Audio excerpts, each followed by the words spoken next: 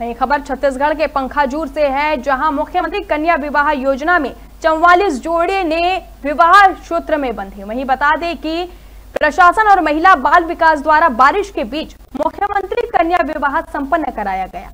इस अवसर पर चौवालीस जोड़ियों करवाई गई है। वहीं मुख्य माह में जोड़ियों को शादी के सभी जरूरतों के सामान सहित विवाह के अवसर पर प्रत्येक कन्या को इक्कीस हज़ार रुपए की राशि, बैंक खाते या बैंक ड्राफ्ट के रूप में दी जाएगी। हज़ार रुपए की राशि के उपहार भी दिए गए। पंखाजूर से कमल देवनाथ की रिपोर्ट।